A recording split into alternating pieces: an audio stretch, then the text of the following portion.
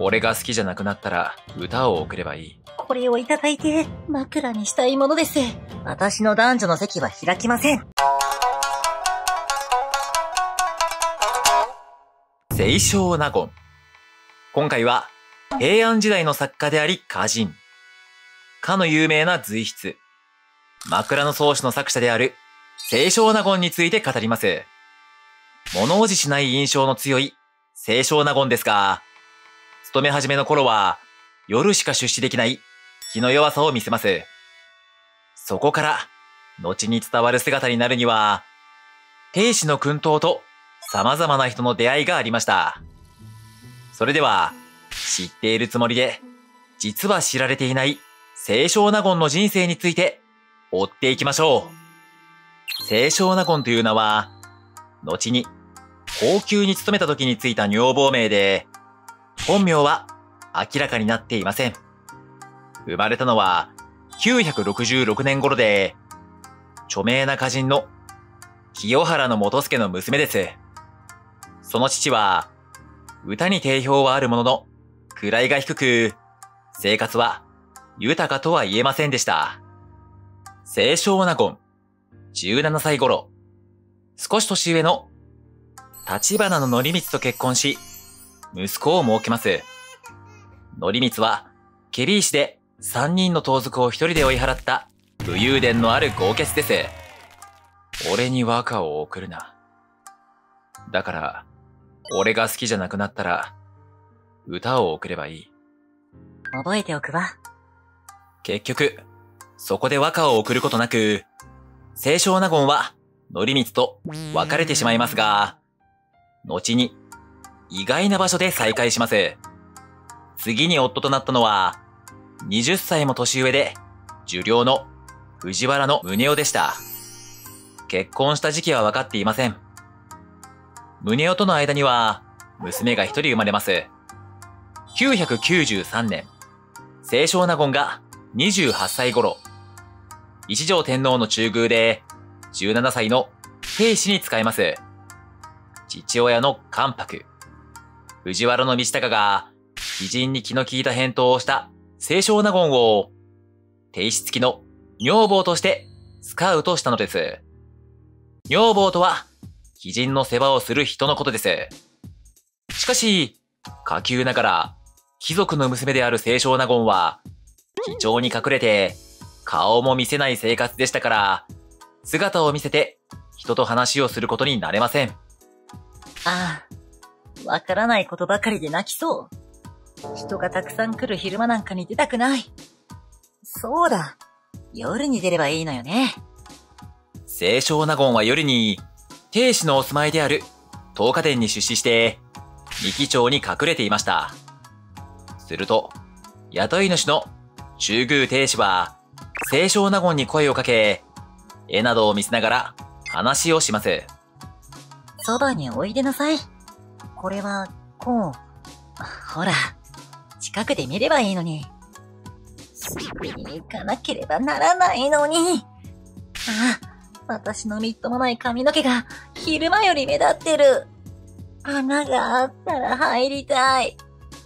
冬の寒い日でしたので、着物の裾から見える亭主の指先は、ほんのり梅色に染まり、その美しさに、清少納言は感動します。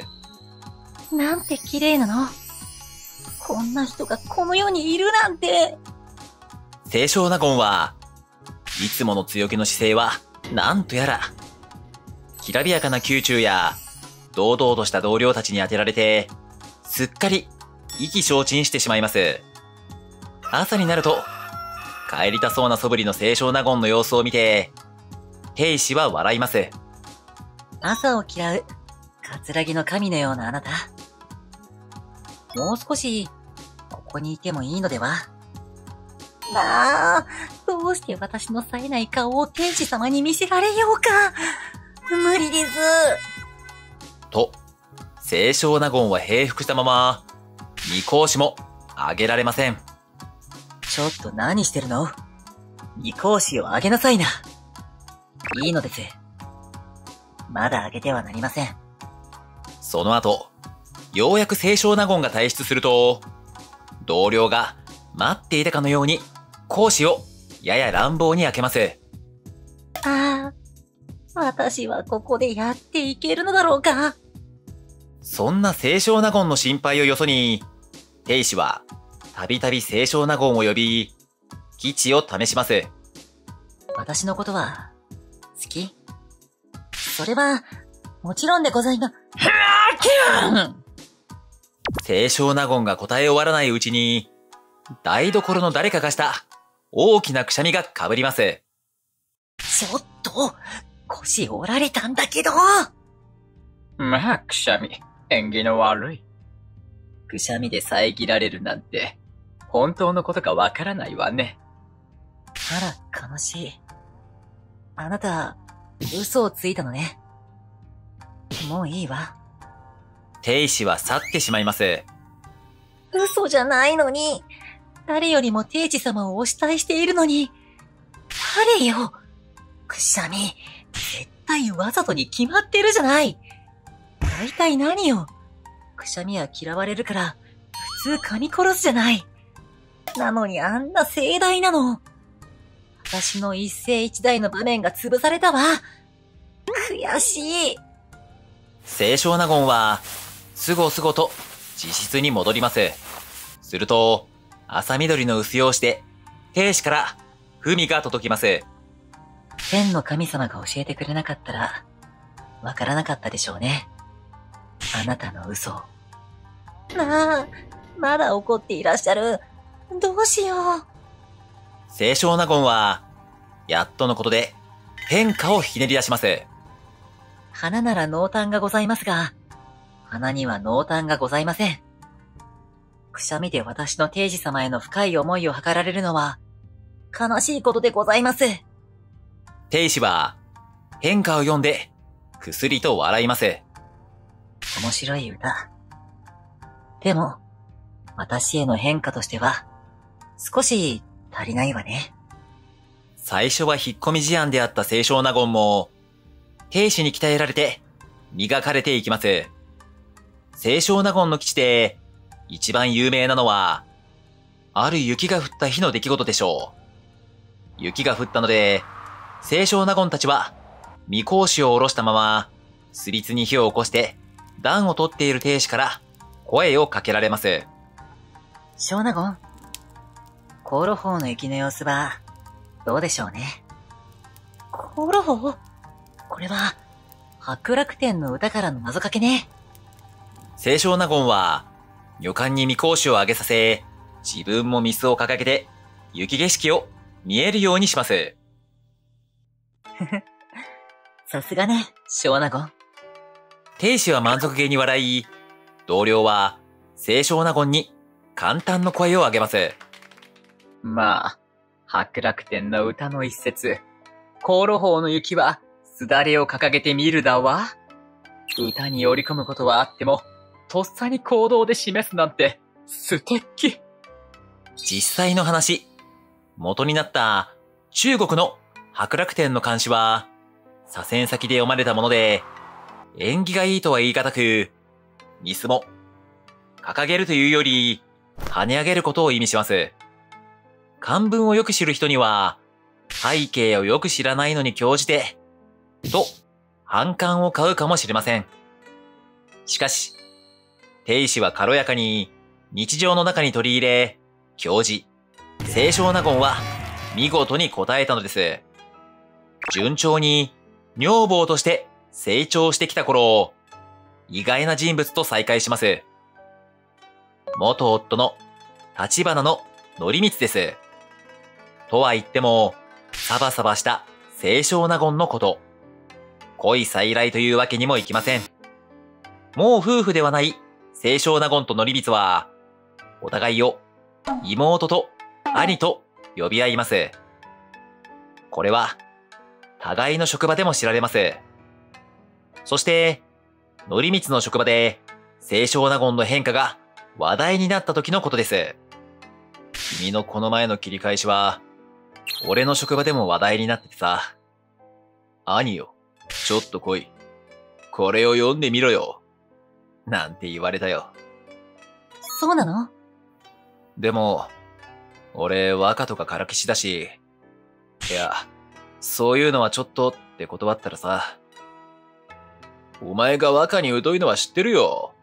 でも、俺たちが褒めたって、お前の妹に伝えてくれないかななんて、鼻が高かったよ。平安時代とは思えない気楽な関係ですが、これも清少納言ならではかもしれません。さて、定子によって作られた他の追随を許さぬ文学サロンですが、その日常は華やかでありながらくつろげるものでした。一条天皇は清涼殿に定子の兄の藤原のコレチカを呼び出し、定子や清少納言をそばに置きながら漢文などの話をすることもありました。コレチカ様は今日もさっそうとして素敵だわ。そのコレチカが、亭主に紙を閉じた草子を送ります。当時、紙は貴重でした。これに何を書こうかしら。陛下は式を書かれるそうよ。古今和歌集がいいかしら。これをいただいて、枕にしたいものです。そう？なら、持って行ってもいいわよ。ありがたく頂戴いたします。清少納言は、宗子を手に入れます。枕にしたいと冗談を言ってもらった宗子。そう、枕草子の大元でございます。いつ頃から枕草子の執筆が始まったのかは不明ですが、紙は清少納言の心を保つ薬のようでした。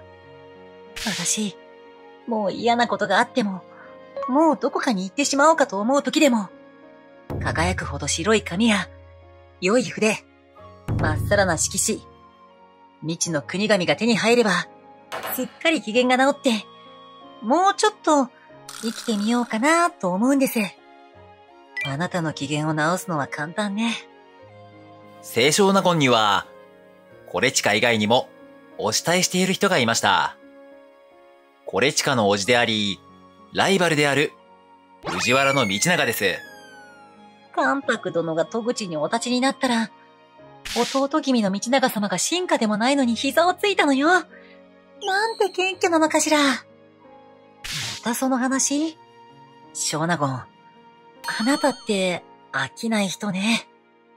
その道長が、定子凋落の原因となるとは、誰が予想できたでしょうか。中宮定子は、関白の父、道高と、出世街道を進む、兄のコレチカに守られながら、一条天皇の長期として君臨してきました。しかし、995年に、道高が糖尿病で亡くなります。すると、次の関白、摂政職を、コレチカと道長が争い、道長が選ばれます。納得できないコレチカは荒れ狂い、大失態を犯します。コレチカ様と高家様が、5階から火山院に矢を追いかけたようです。元は天皇の火山院に夢を向けるなんて。でも、天使様のお兄様であられるコレチカ様や、弟君の高家様に、陛下はきっと、寛大でいらっしゃるはず。しかし、ライバルの道長は、この機会を逃さず、休断します。一条天皇も、法に厳格な態度を示し、結局、コレチカたちは、左遷という厳しい処置を受けます。コレチカと高家は、兵士のいる二条北宮にかくまわれます。しかしある日、ケビー氏は、兵士の元まで来て、高家を拘束します。姉上高家、なんてこと。こんな属性に、未練などありません。ショックを受けた亭主は、自らハサミで髪を切り落とします。亭主様平安時代の女性にとって、髪の毛は命よりも大事なものです。亭主は髪を切り落とし、出家を選んだのです。もはや、妃とも言えない状態の亭主からは、次々と人々が離れていきます。清少納言が、私はいつまでも、天使様のおそばにいたい。と思っていても、同僚は疑います。小納言は道中びいきじゃない。私たちを裏切るに違いないわ。楽しくおしゃべりしていた同僚が、清少納言が現れると、口をつぐむことも増えていきました。さらに清少納言は、道長側に寝返ったクラウド頭の藤原忠信とも仲が良く、冗談を言う間柄でした。忠信は何度も清少納言に連絡を取ってきます。一人で会ってはいけない。きっと、天使様を裏切るように説得される。断っても変な噂が立って窮地に追い込まれる。もう、ここにはいられない。昇進の清少納言は、実家に帰り、引きこもります。天使様からは、何度も出資するように連絡が来ますが、清少納言は応じません。そこに、源の常房が訪ねてきます。中宮様の今のお住まいですが、苦しい身の内でも、女房たちの服装も華やかで、感服いたしました。ただ、ただ、お庭の草があまりにも茂っているので、つい、買ってはいかがですかと言ってしまい、女房たちは、中宮様が、梅雨を見たいのよとおっしゃるから、そのままに、なんて言っていましたが、もう草を刈る余裕もないのね。女房たちから、小納言さんが、中宮のおそばにいらっしゃらないのは残念です。苦しい時こそ、おそばにいるのが道理でしょう。中宮様も同じ気持ちなのにどうしてと言われましたよ。まあ、僕からあなたに伝えろってことでしょうが。またお目にかかれるかはわかりません。今、皆は私を憎いと思っているかもしれませんが、私も同じです。まあ、気が変わったら参上してください。また。源の常房が帰った後、清少納言は胸の内を吐き出します。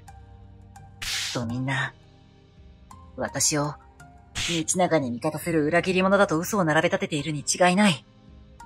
そんなところに、どうして参上できるものですか？なあ、むしゃくしゃする。清少納言は、亭主からもらった上等な紙を冊子に仕立てたりなどして、気を紛らわせます。同僚の女房には会いたくないが、亭主との思い出は、輝いて思い出されます。思いつく限り、何か書いてみよう。天使様との思い出を。亭主から紙の贈り物もあり、枕草子は書き進められます。そしてうっかり源の常房に、ミスの隙間から敷物を出すときに、書きかけの枕草子の冊子を乗せたまま出してしまいます。な、それは、ほう。これは、天使様へのお返事ですね。では、また参ります。源の常房は、枕草子を持ち帰ります。清少納言は、滞在している場所を、ごく少数の人にしか伝えていませんでした。その一人が、元夫の則光です。その則光に、あの道長派の忠信が、わざわざ、クラウドの控え室にまでやってきます。いや、忠信様、なぜこのようなところに、君は、清少納言の元夫だな。今は、妹と呼んでいるようだが、誠にその通りで、妹の場所は知っているだろ？教えろ。ああ、ダメだ。もう言いそうになる。そうだ口に何か入れれば喋れないぞ。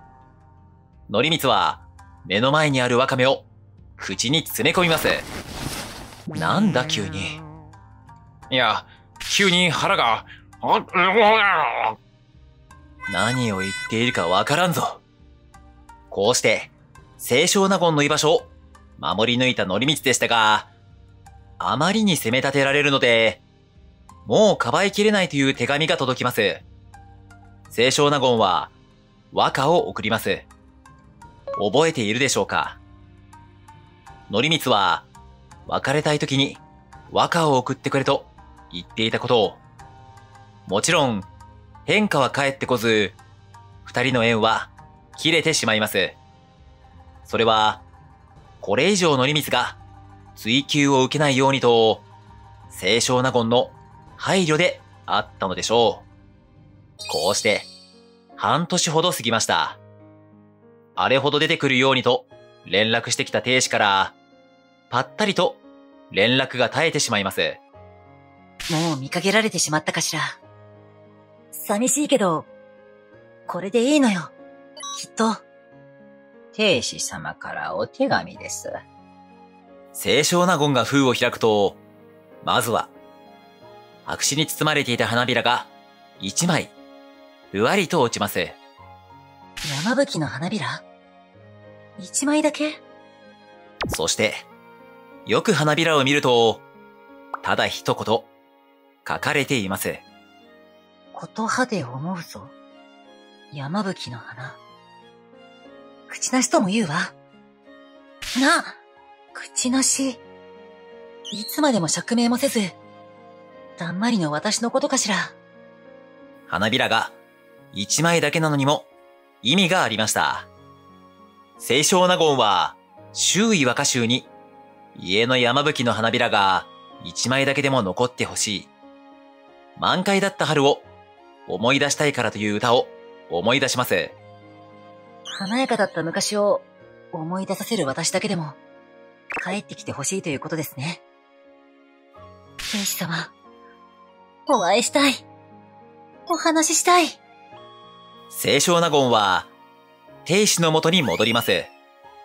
機長にほぼ隠れた清少納言を見つけて、亭主は微笑みます。あれは新入り。長いお休みをいただき、申し訳ございません。参上いたしました。もう一つ、清少納言で有名な話は、藤原の雪成との対話ではないでしょうか。三席に数えられるほど、麗しい文字を書く彼も、女房たちの評判は今一つ。雪成様の書かれた字は素晴らしいのに、お人柄は、今一つ、華やかさに欠けるというか、朗々と歌い上げることもなく、少し硬い印象があって、近づきにくいというか、清少納言は、雪成をよく理解していました。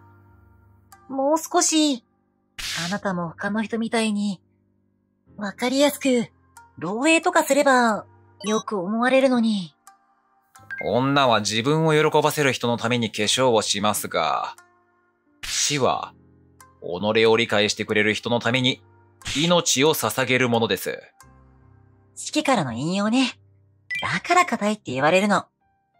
清少納言と雪成が、中宮に関する事務を行う職の水をして、深夜まで話し込んでいたことがありました。なあ、そろそろ仕事に行かなければ。残念だな。と、日付が変わる頃、雪成は仕事に行きます。そして翌朝、清少納言のもとに、雪成から文が来ます。え？雪なりからふみなんで？絹絹の文は、夜を共に過ごした男女が送り合う、あでやかな文ですが、雑談していた二人には、似つかわしくないものです。さらに、文に使われている紙を見て、清少納言は笑います。通常は、美しい色合いで、上質な紙を使いますが、これ、役所の紙じゃないの。しかも何枚も。長。ここで清少納言は、冗談だと気づきます。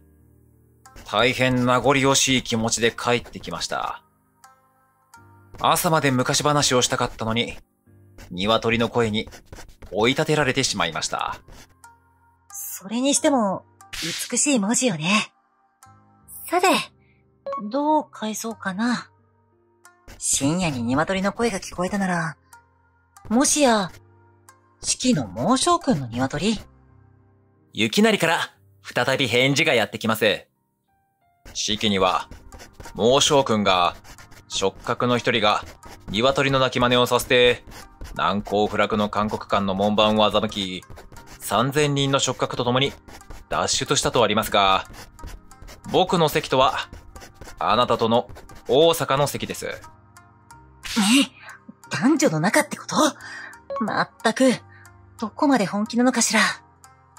そして、返事に書いたのが、後に、百人一首にも選ばれる和歌です。世を込めて、鳥の空音を測るとも、世に大阪の席は許さじ。深夜に鳥の鳴き真似をしても、騙されません。よって、私の男女の席は開きません。残念でした。雪なりから返事が来ます。大阪は、人超えやすとき、席ならば、鳥鳴かぬとも、開けて待つとか。今の大阪の席は、すぐに超えられるらしいですよ。鳥なんか鳴かなくても、開いて待っているらしいです。あなたもそうでは？まったく失礼なんだから。でも、苦手な和歌で返すなんて、なかなか可愛いじゃない。これが有名な、清少納言と雪なりの韓国間についてのやりとりでした。さて、亭主はすでに出家した身でありながら、妃のような存在としている異常時代でした。さらに、999年、西長の娘である少子が、一条天皇の女房として受代します。一条天皇の亭主への寵愛は途切れませんでしたが、千年に亭主が亡くなります。主がいなくなった清少納言は、宮遣いをやめ、その後の消息は、はっきりしません。清少納言のライバルとされる紫式部が、少子に仕えるのは、しばらく経った1005年のこと。意外にも、清少納言と紫式部が同時期に代理にいることはありません。清少納言は大好きな亭主様とのやりとりを後世に残すために辛い悲しい描写を避け、あえて生前の美しい姿を書き留めて未来に送ります。これは一条天皇の心に素晴らしい思い出として残り、道長の娘である少子への寵愛を妨げます。誠に、清少納言らしい一種の報い方と言えるでしょう。はい、以上でございます。いかがでしたでしょうか？この動画が少しでも面白かった、ためになったという方は、高評価、コメント、チャンネル登録をお願いします。感想、ご意見、リクエスト等、何でもいいので、コメントや評価をいただけましたら、動画作りの糧になりますので、よろしくお願いします。それではまた次回。